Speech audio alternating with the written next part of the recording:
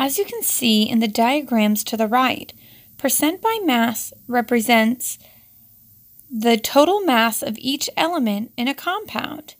Here we have two different pie charts representing two different ionic compounds.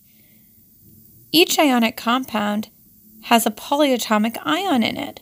The ionic compound to the left is called potassium chromate, while the ionic compound to the right is called potassium dichromate. We know that these compounds have different names, different formulas, and different physical and chemical properties. They also have different percent compositions by mass. Hi class, welcome to lesson 36. In this lesson, we are going to learn how to calculate percent composition by mass of elements in compounds and the percent composition of water in hydrated compounds. Percent by mass of an element represents how much of the total mass of the compound is contributed by each element. Percent composition by mass directly relates to how we classify different types of matter. Matter that is a pure substance, which includes either an element or a compound, has a uniform percent composition by mass. That means the percent composition by mass never varies. Elements are only made up of one type of atom. All elements are 100% composition by mass of their element. Compounds have different percent compositions by mass we know that when the formula changes, so does the name, the properties, and the percent composition by mass. This is not true for mixtures. Mixtures, the particles are not chemically combined, so each component can vary. That is why a mixture of ocean water in the Dead Sea although it has more salt per water, is still called salt water, just like a mixture of salt and water in the Atlantic Ocean. Again, in mixtures, the percent composition can vary.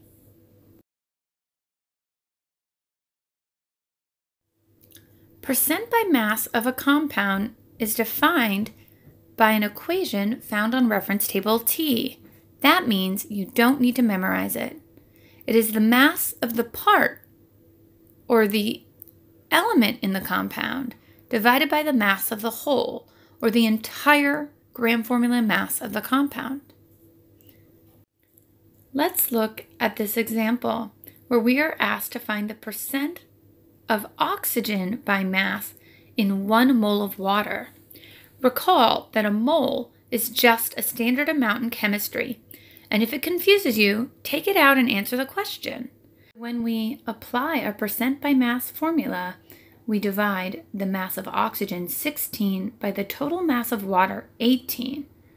This gives us a percent by mass of oxygen of 88.9.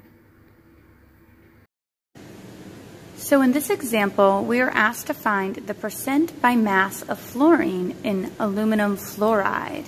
So basically we're asking in this ionic formula unit, how much of the mass is attributed from these three fluorine ions? Now, in the previous lesson, we calculated the gram formula mass of aluminum fluoride. We can use this information to help us find the percent by mass of fluorine in aluminum fluoride. So essentially, we're looking for the mass of our three fluorines and dividing it by the total mass of the compound times 100. Using the numbers that we got in the previous lesson, that means we're going to have to go and divide 57 by the total mass of 84 and multiply times 100. So here you can see that our calculator gives us an answer of 67.9%.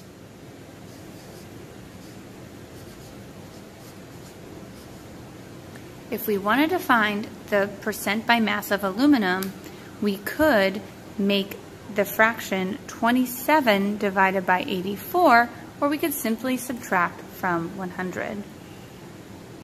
Now let's look at the example where we try and find the percent by mass of sodium in sodium sulfate.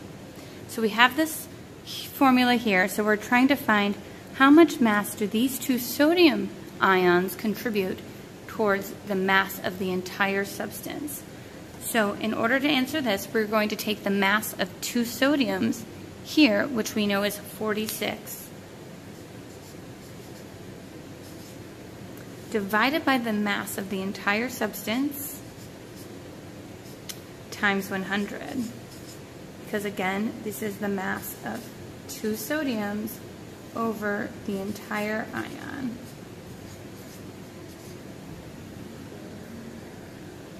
Placing this in our scientific, not graphing calculator, we get that the percent by mass of sodium in sodium sulfate is 32.4%. Notice how, since we are rounding to the tens place, we examine the hundreds place to determine how to round. The 7 tells us to round up. In this last and final example, we were asked to find the mass of calcium in a compound or formula unit of calcium nitrate. In this formula, there is only one calcium. So what we're asked to find is the percent by mass of calcium in entire calcium nitrate. So based on our gram formula mass work in the previous lesson, Calcium's mass from the reference table rounded to the tenths place is 40.1 divided by the mass of 164.1 times 100 to get the percent by mass of calcium. And our calculator gives us a final percent by mass of 24.4%.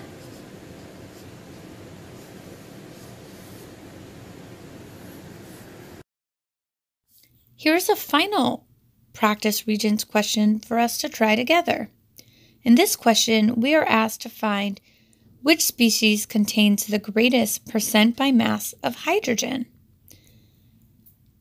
Here, we'll take the mass of hydrogen in each species divided by the total mass of the particles.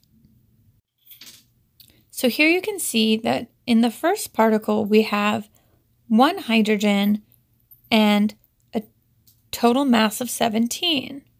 You can see all of the mathematics we use here on the right. So when we're answering this question, we're simply looking for the greatest value. This concludes Lesson 36. Make sure you've taken good notes, you complete your homework on Google Classroom, and bring your questions to class. See you soon!